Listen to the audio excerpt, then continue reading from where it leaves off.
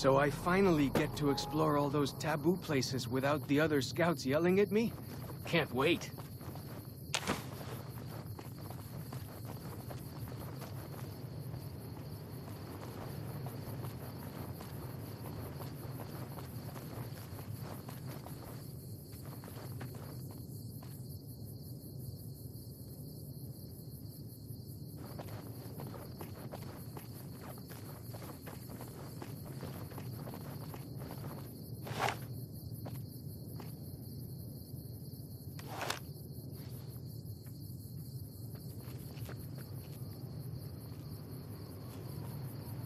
Gut.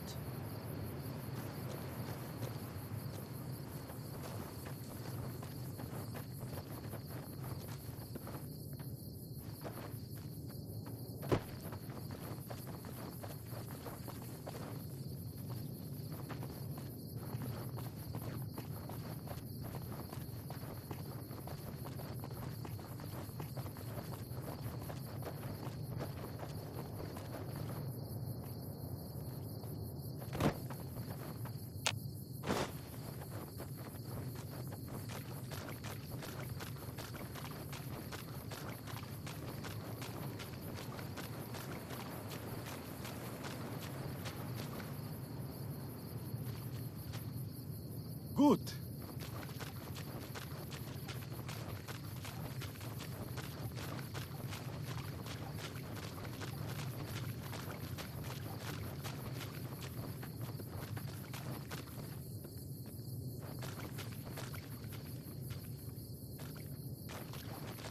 this? This is why your own two feet are better than any cart. Whether it's pulled by critters or goes on its own.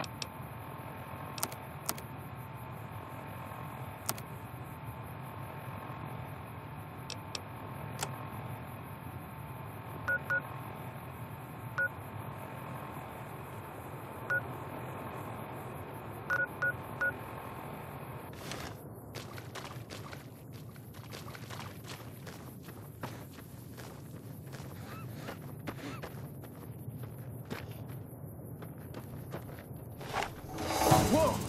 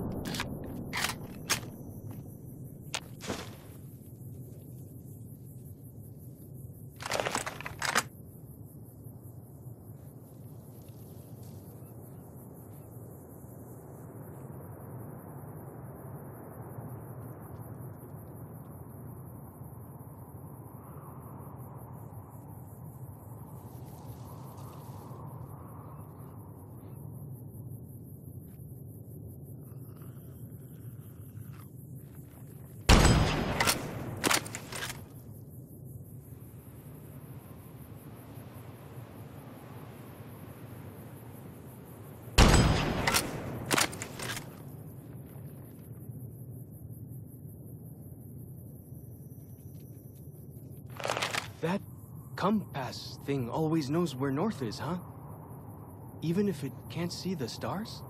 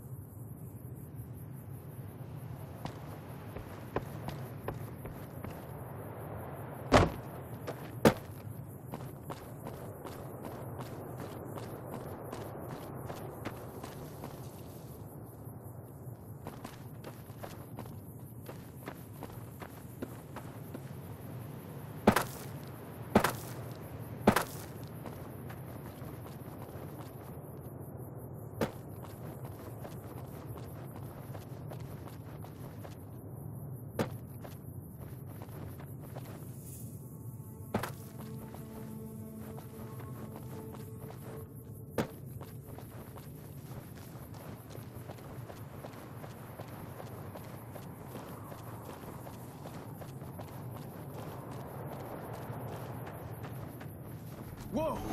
Here we go!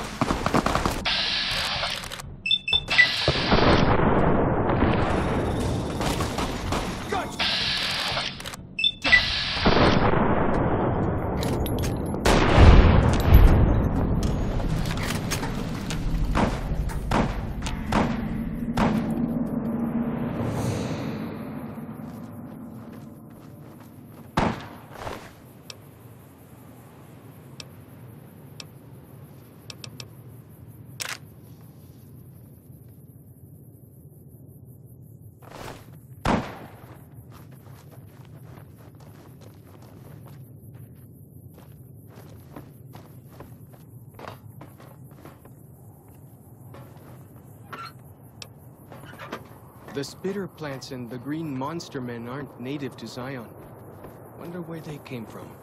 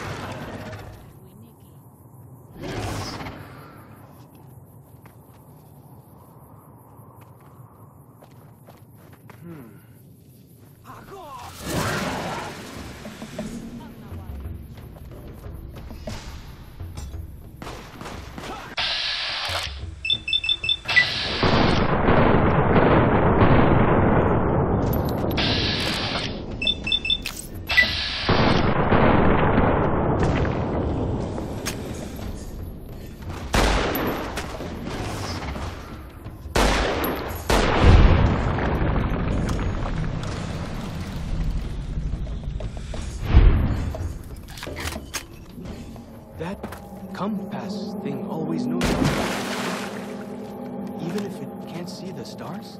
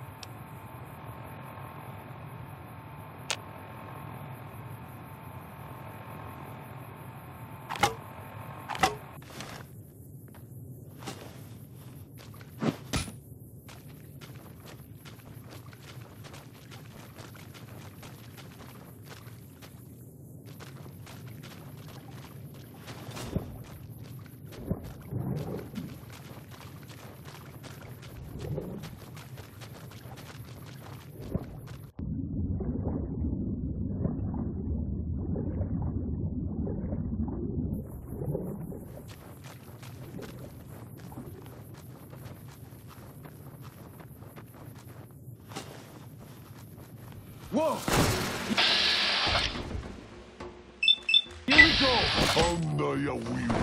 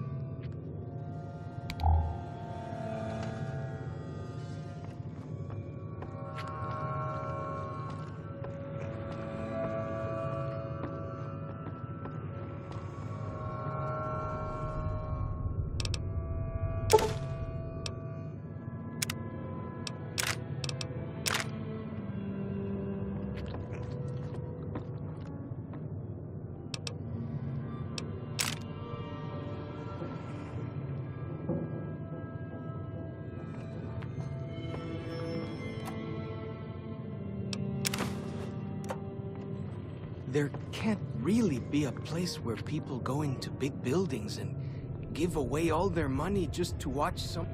For as long as I remember, the dead horses have thought that places of the old world were taboo. Doesn't look so spooky to me.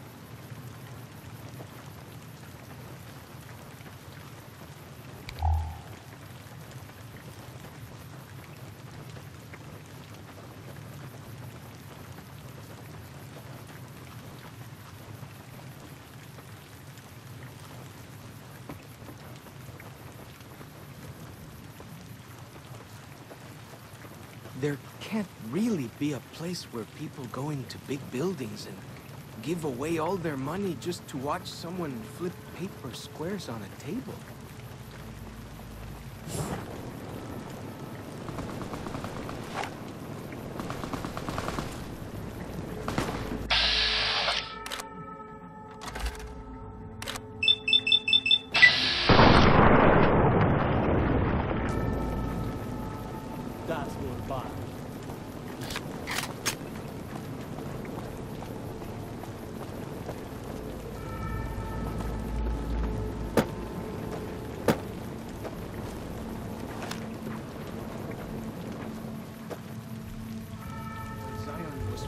Enough folks could make camp wherever they pleased and not worry about whitelegs and deadly critters.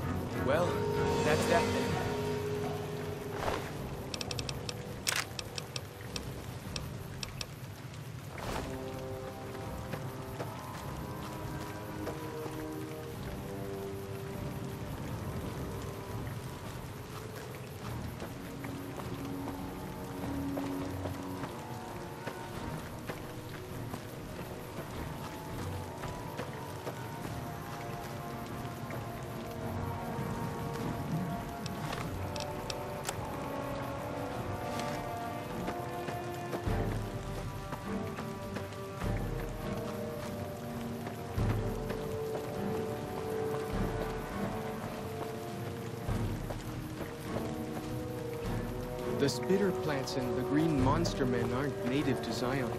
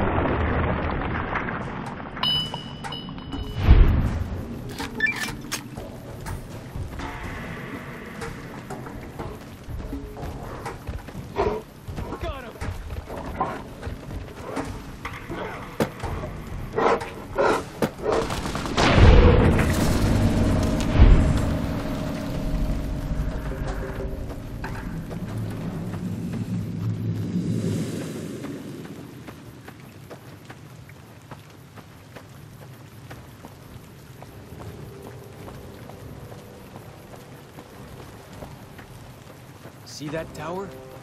Back when folks used them to talk to each other on the air. Not like with signal drums.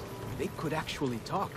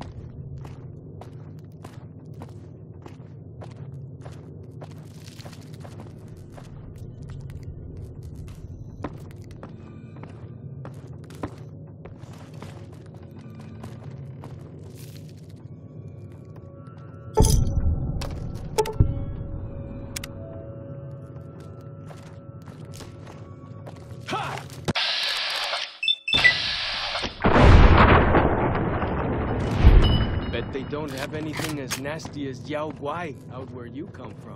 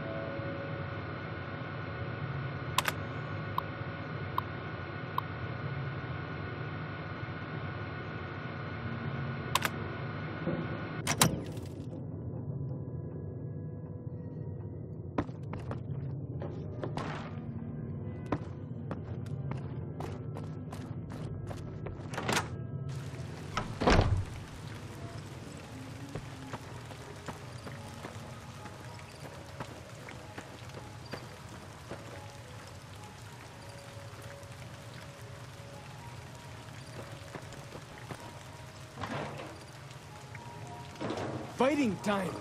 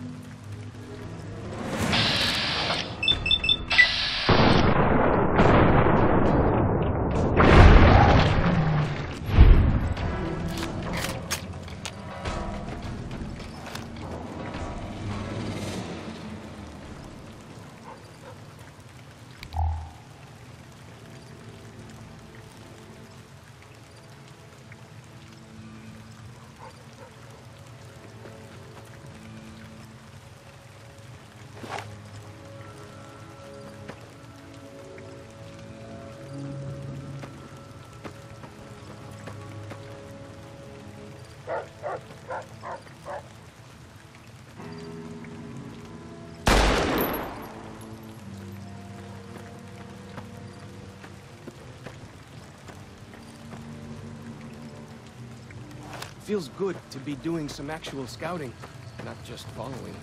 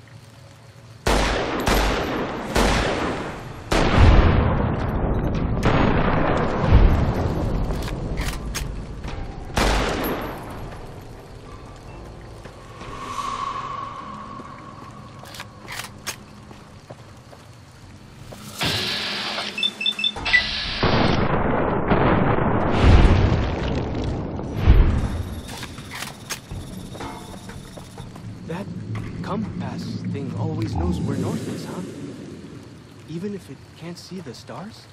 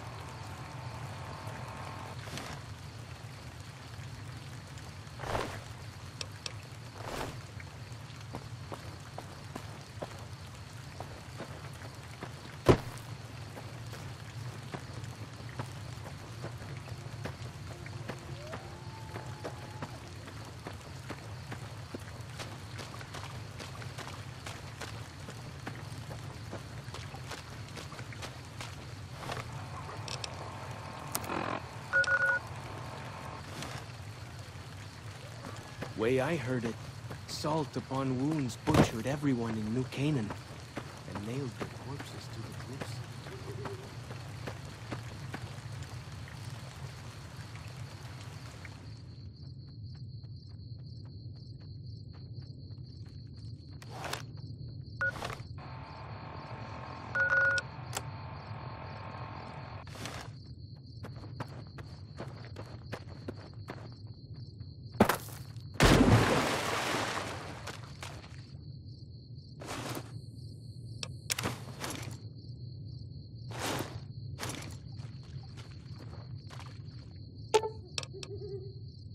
Well then, let's get to trading.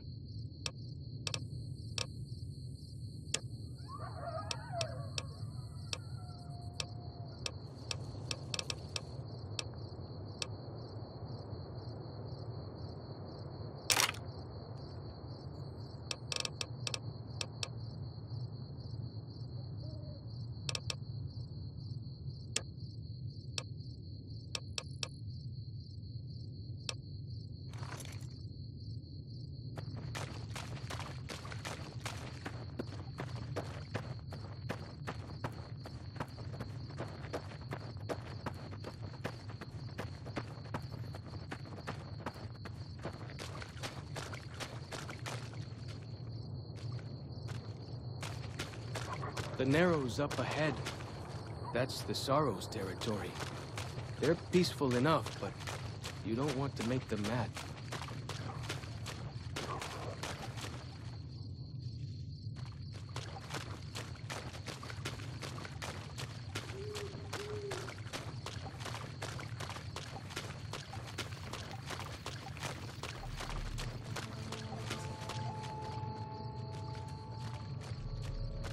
You are the one Joshua Graham sent to us.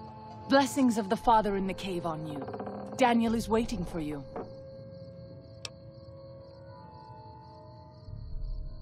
a Sorrows' Yaoguai fist is a sacred symbol. It shows that we belong to the tribe and have willingly undertaken a dangerous quest to aid the tribe. Each sorrow makes his own, and only after hunting and slaying a Yaoguai that threatened our people. Our shaman, Whitebird, oversees the rites. Perhaps if you spoke to him, he would allow you to undertake such a quest. Waking Cloud is my name. I am midwife to the Sorrows. It sounds ill omen, no? Midwife to Sorrows? The children and the old have already been evacuated from the camp. They are safe enough, unless the Whitelegs come for us in force. I tend to other hurts and sicknesses that afflict our tribe. I also scout the valley for the herbs I use in my medicines. What would you speak of? Daniel is a wise man and a great friend to the Sorrows. He taught me to speak the language of New Canaan, the English from the holy books. Yes, the language of the New Canaanites is the Holy Tongue, for it is the language their sacred books are written in. The Father in the caves brought it to them after the judgment, but the ancestors of the Sorrows sinned against him. They were denied the true tongue.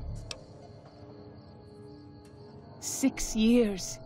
He attended the birth of my third child. It was a hard birth.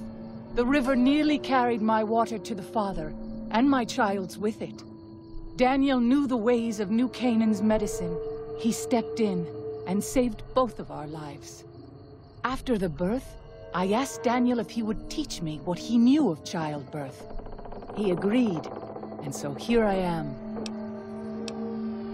What would you speak of? We have dwelt in the Narrows since the end that came in fire. When the Father in the caves punished the world and made us forget the Holy Tongue. We have had good relations with the other tribes in the valley. At least before Salt Upon Wounds brought his Whitelegs here. We have Daniel to thank for our continued existence. His advice and help has kept the Whitelegs from overrunning us, so far. I do not know how long even he can protect us, though. He is War Chief of the Whitelegs. and the worst butcher of them all. The tribes he has crushed are many. The warriors he has slain, countless. Have you not heard of the god of the new Canaanites? He is our protector and our judge. He helped our ancestors find their place here in Zion. He gave us many gifts, but we are not to seek him out. His caves are forbidden to us. Those who seek them out are taken from us. Perhaps you do not fully understand the new Canaanites. I have seen the Father's images. His holy bride and holy son were given unto the world to save it. They dwelt in the caverns of the mountains, caverns which can still be seen today. The people sinned against him, and were punished with the end that came in fire and the loss of the holy tongue. Only the new Canaanites were spared. I'm sure Daniel could tell you more. His knowledge of the Father is greater than my own. Then I will look forward to our next speaking.